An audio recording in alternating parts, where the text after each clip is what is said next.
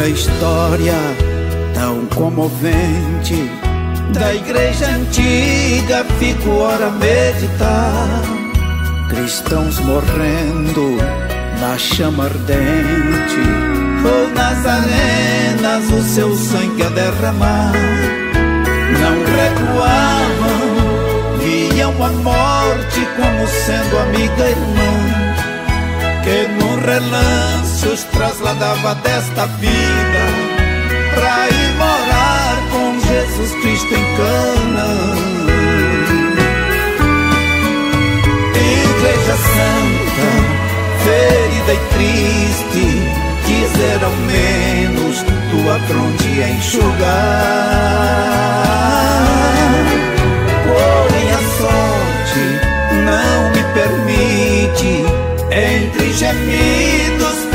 Deus pra te ajudar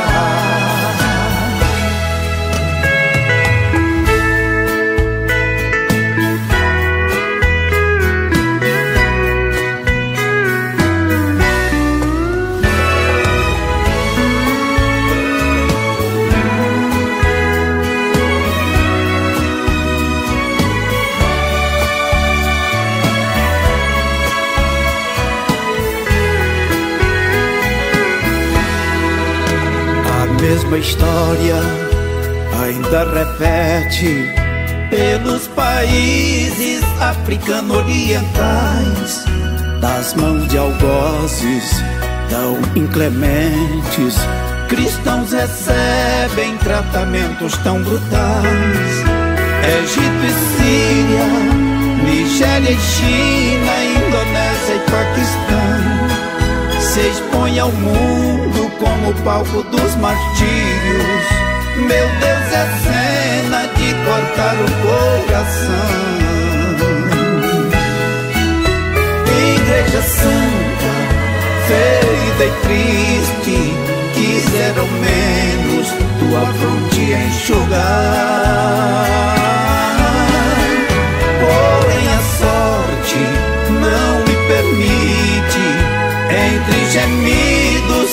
A Deus pra te ajudar Igreja Santa, ferida e triste Quiseram menos tua fronte enxugar Porém a sorte não me permite Entre gemidos peço a Deus pra te ajudar.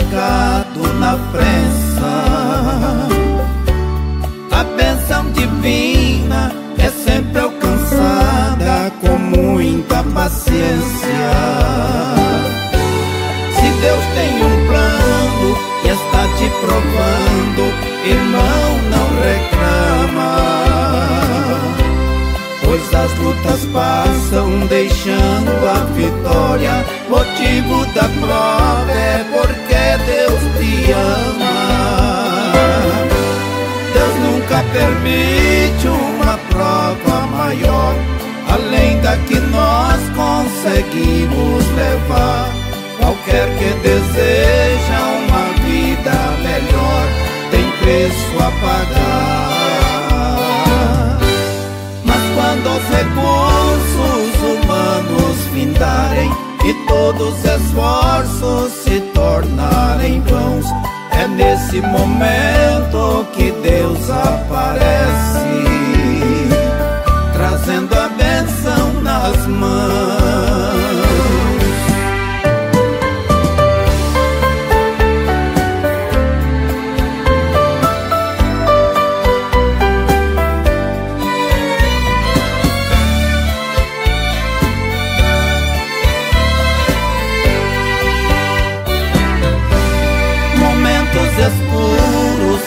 Vida passamos sem explicação. Nos roubam a calma e às vezes nos deixam caídos no chão. Porém, tudo isto é questão de tempo e tudo esclarece. Pois mesmo que a prova nos tire o vigor, morre a flor, mas o fruto aparece. Deus nunca permite uma prova maior, além da que nós conseguimos levar. Qualquer que deseja uma vida melhor, tem preço a pagar.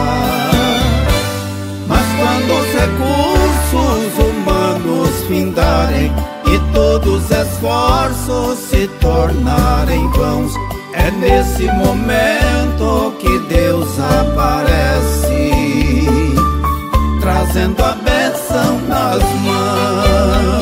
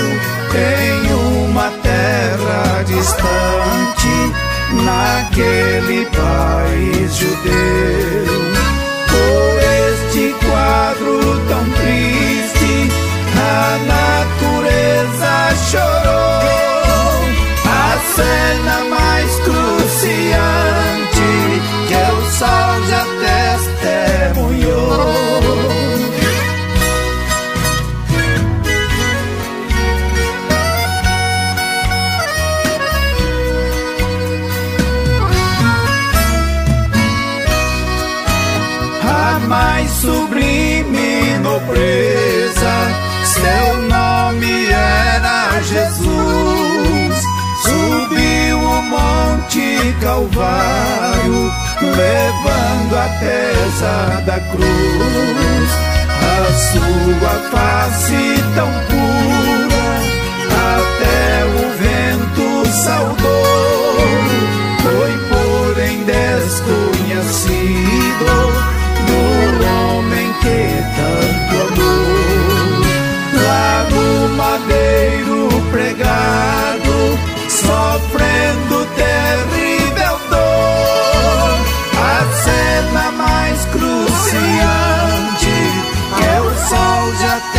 say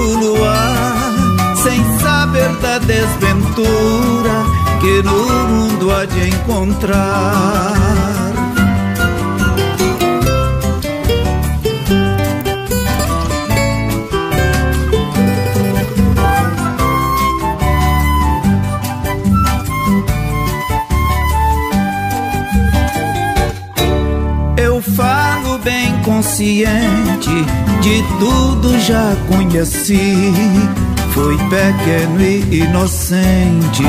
E com o tempo cresci, deixei meu pai tão distante, abracei e despedi, sonhando por vir brilhante, o meu destino seguir.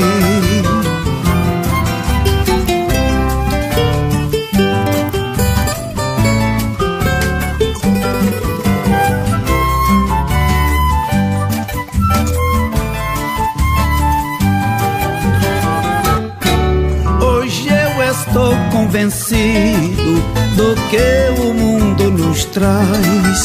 Tristeza, desilusão, desgosto e nada mais. Um conselho de amigo a todos que têm seus pais. Devem dar muito valor e não desprezar jamais.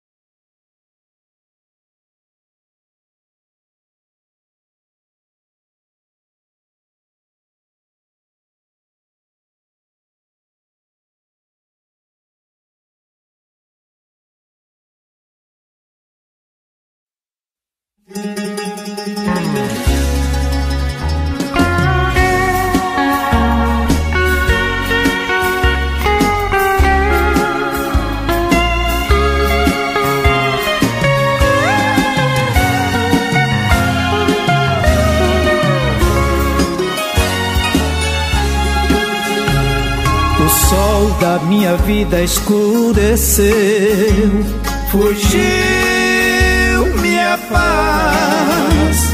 Meu coração também se entristeceu, chorei demais. São coisas que aqui nos sobrevêm e a gente nunca sabe de onde vem tentando nos parar na caminhada rumo ao céu.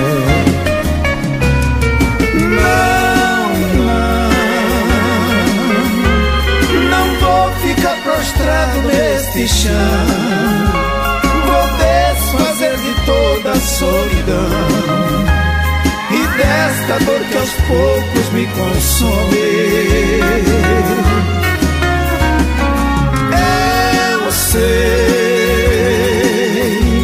Jesus está provando a minha fé, mas como há pouco força que eu tiver, jamais negar seu santo nome.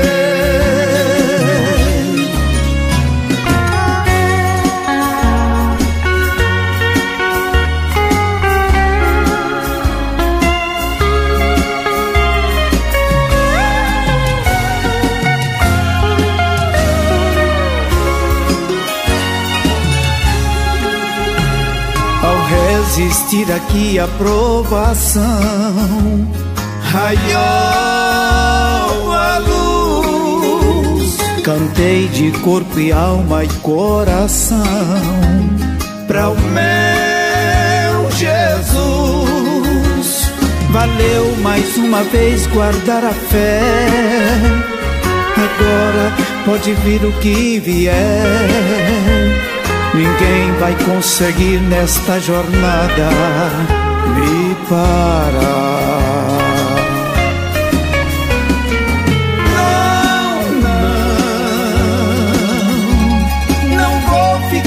Ficar prostrado neste chão. Vou desfazer de toda a solidão e desta dor que aos poucos me consome.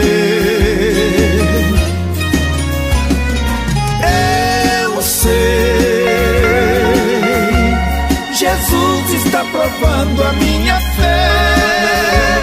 Mas com a pouca força que eu tiver, jamais irei negar seu santo nome.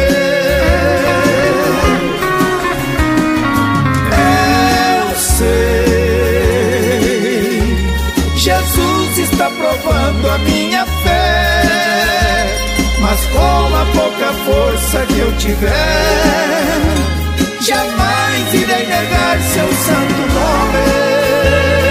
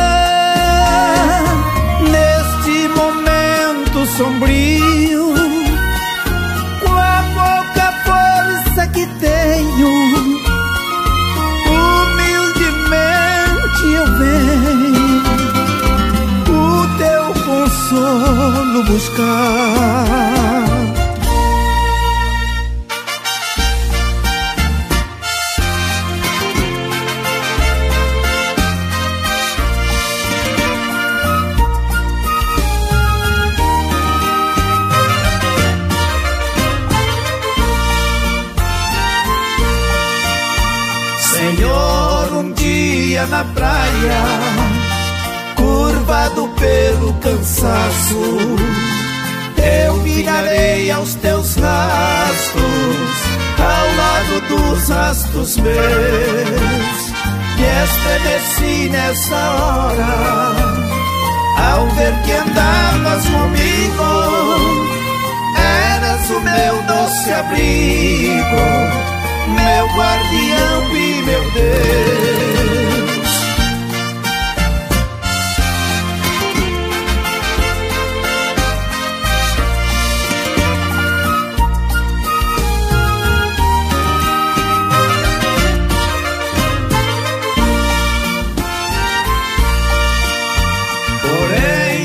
depois de algum tempo, surgirão em minha frente duas pegadas somente. Então ali eu chorei, pensando que me deixaste. Foi quando assim me dizias: Filhas, pegadas são minhas saibas que eu te carreguei.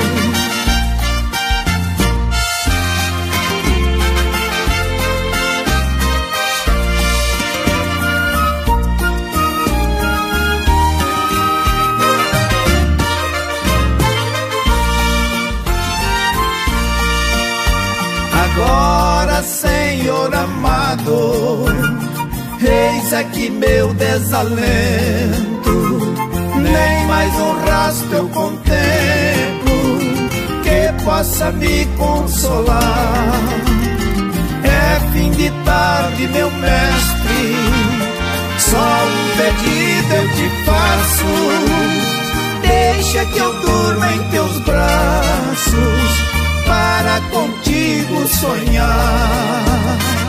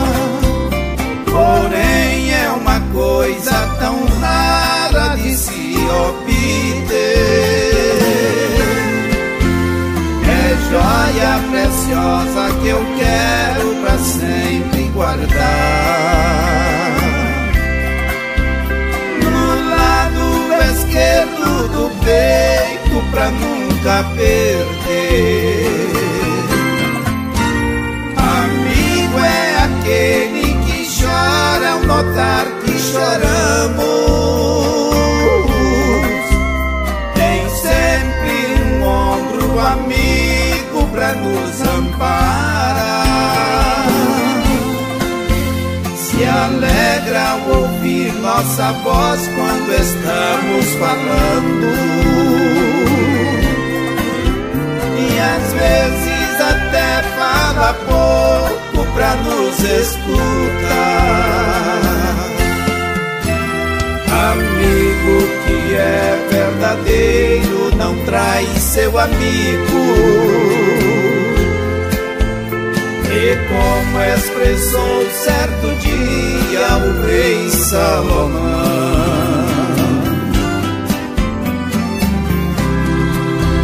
Quem tem seus amigos já pode congratular-se. Mas existe amigo chegado bem mais que um irmão.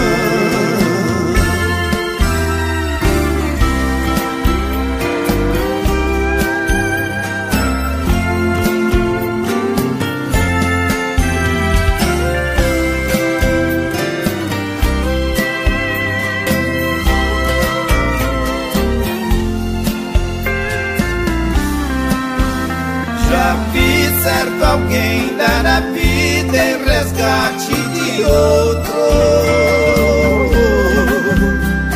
Amigo, assim só nos leva a pensar em Jesus, pois ele deixou o seu trono de glória no céu.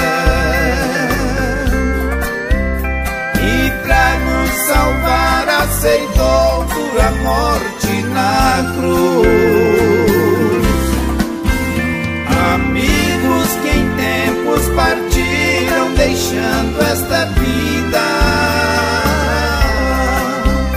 Marcaram de forma indelével o meu coração.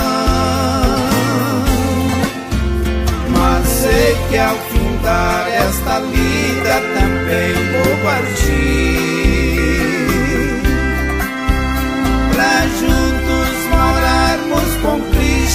eterna Síria. Amigo que é verdadeiro não trai seu amigo. E como expressou certo dia o rei Salomão.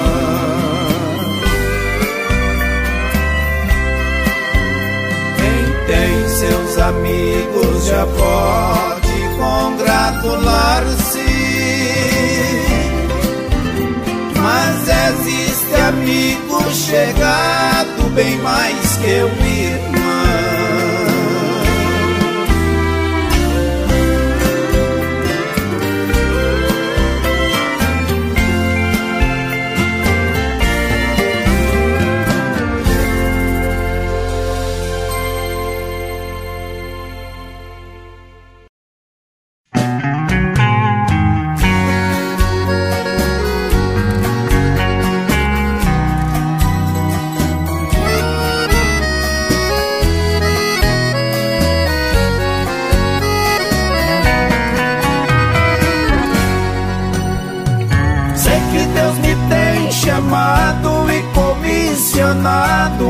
Fazer missões pelas terras brasileiras e além das fronteiras de outras nações.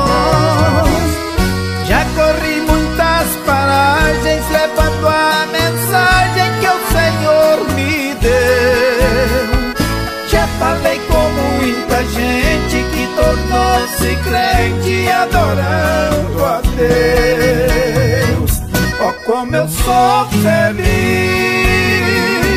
servindo ao meu Senhor. A sua voz me diz: És meu embaixador. Se é hora de partir, prossigo sem temer, mesmo havendo espinhos deste meu colher.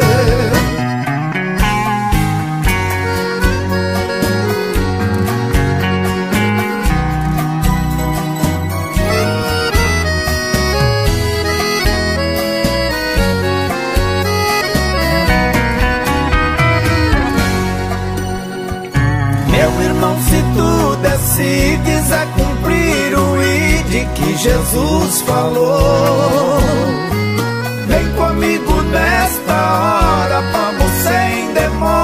pois Jesus mandou uma dupla missionária para obras raras de um valor sem fim. Vamos pela mesma trilha de um Paulo e Silas e cantar assim.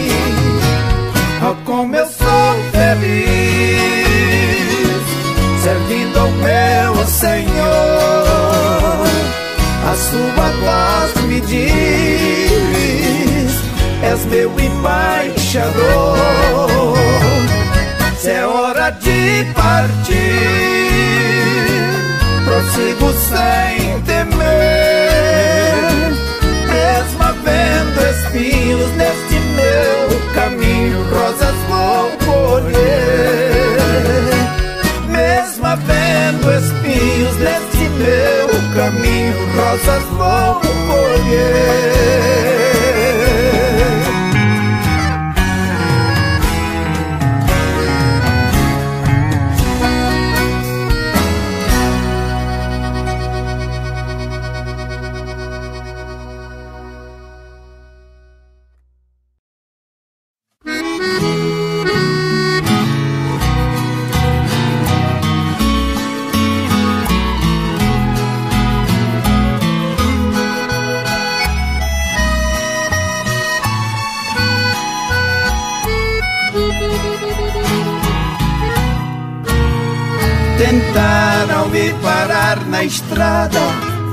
Forma perversa para ver meu fim. Forjaram falsas testemunhas e até falaram muito mal de mim. Busquei no subconsciente pra ver se achava onde foi que errei. Triste abatido, coração ferido, eu até chorei. Eu sei, esse alguém que agora tanto me apedreja, se deixou levar pela onda da inveja pois que nunca soube curti para o amor. Mas eu que desfruto a sombra um seguro abrigo, vou fazer o mesmo que Deus fez comigo. Por tantas ofensas, meu perdão lhe dou.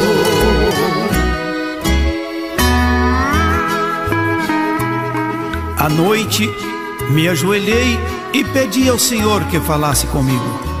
E ele me fez recordar suas palavras registradas em João 15, 20, 16, 33.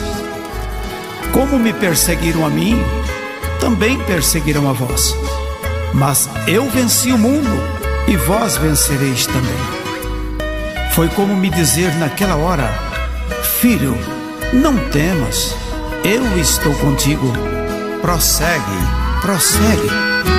Eu sei, esse alguém que agora tanto me apedreja, se deixou levar pela onda da inveja, pois que nunca soube curtir para o amor. Mas eu, que desfruto a sombra de um seguro abrigo, vou fazer o mesmo que Deus fez comigo. Por tantas ofensas, meu perdão lhe dou.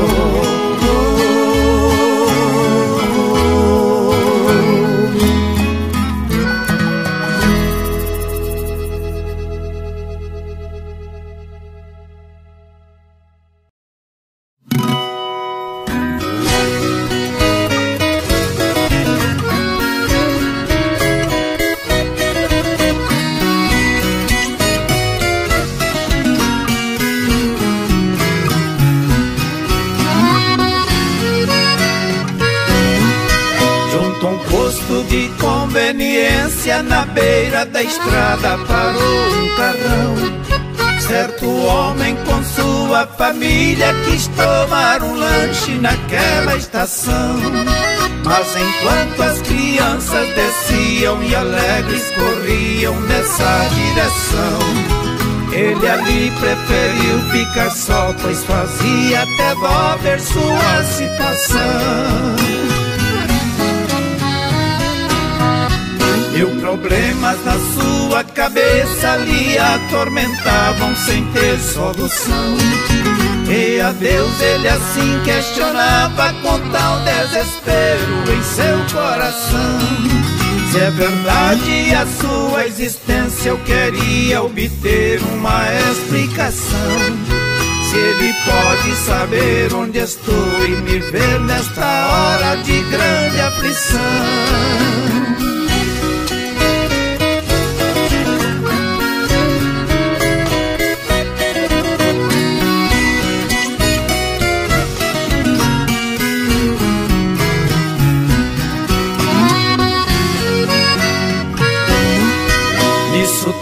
De um telefone soou na cabine de um orelhão.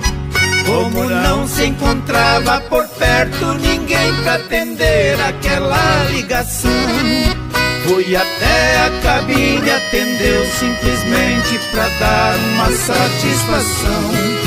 Mas surpresa ele ouviu que alguém pronunciava seu nome em total comoção. Preciso falar com o Senhor, por favor, me conceda a sua atenção. Eu não tinha o seu telefone, mas Deus foi me dando esta numeração. Na verdade, ele então respondeu: Eu estou a cem milhas do meu quarteirão. Eu não posso entender como alguém conseguiu realizar essa tal ligação. Nem precisa dizer nesta hora o quanto esse homem chorou de emoção.